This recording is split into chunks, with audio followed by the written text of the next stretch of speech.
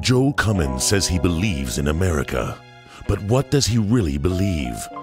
Does he believe hanging out with rich celebrity friends qualifies him to be your president? Does he believe in gallivanting with rock stars? Does he believe in the sanctity of marriage? Does he really believe in the Chicago Cubs? We need a leader with core family values who believes in you and the hard-working men and women of this great land. Just because Joel Cummins wears a blue shirt doesn't mean he cares about blue-collar workers. I'm Andy Farag, and I approve this message.